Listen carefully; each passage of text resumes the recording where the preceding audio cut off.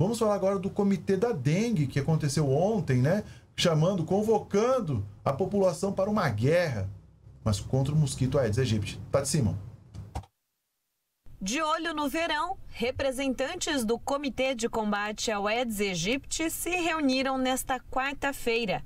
O objetivo, segundo o coordenador do setor de endemias, Alcides Ferreira, é o de despertar nos Três Lagoenses o espírito de moradores vigilantes. O comitê é para isso, é um comitê que, que reúne as entidades públicas, é, as entidades não governamentais, privadas, é, para que possamos é, mostrar o que, o, que, o que, a prefeitura está fazendo no combate ao Aedes aegypti é, e pedir para eles, é, solicitar que cada empresa, cada entidade também faça a sua parte, que venha junto com, a, com o poder público é, fazer mobilização é, para que próximo verão, agora que já se inicia com chuva, né, nós estamos na primavera com bastante chuva, é, para que a gente possa junto fazer ações é, para evitar que esse aumento do mosquito e com o aumento do, da população do vetor, o aumento dos casos tanto de dengue como de chikungunya.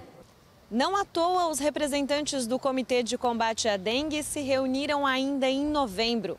Com foco na prevenção, os membros discutiram estratégias preventivas no combate à doença antes da chegada da estação do verão. Segundo o levantamento, quase 14% dos focos do mosquito da dengue são encontrados em estabelecimentos comerciais e em mais de 74% em casas. Ou seja, em locais onde há ao menos uma pessoa e que poderia ter evitado a doença se tivesse tomado ações preventivas. É só 8% em terreno baldio. Então, o problema maior é onde tem pessoas. Então, é, esse trabalho que você falou de formiguinha, ele tem que ser o ano todo. Mas a gente pede agora, nesse momento, que intensifique, porque tem maior disponibilidade de água, maior disponibilidade de água através das chuvas. Então, a gente precisa tirar pelo menos 10 minutos durante a semana e fazer, e fazer a vistoria é, e a manutenção dos seus quintais, dos seus locais de trabalho. Três Lagoas aparece como uma das cidades mais endêmicas para dengue no ranking do estado.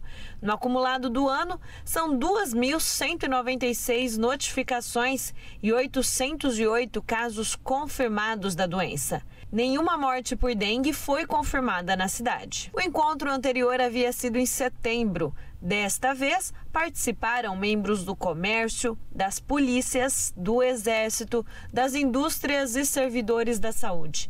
O comitê é aberto a toda a comunidade. Então, a gente teve diversas entidades aqui participando, é, não vou lembrar de todas, mas diversas entidades aqui representando os, os seus setores e que já levaram, estão levando essa informação e a gente espera que na próxima reunião tenhamos mais pessoas, é, mais entidades. Quanto mais nós conseguimos divulgar é, esse trabalho, é, trazer as pessoas para fazer parte desse controle, a gente consegue é, minimizar o, os riscos da doença. É uma reunião aberta, a gente sempre divulga, é, vamos estar divulgando no, no, link da prefeitura também é, essa reunião e aí as pessoas podem vir, quem, tiver, quem quiser vir, para ouvir o que está sendo feito, é, para até contribuir com alguma informação, será sempre bem-vindo.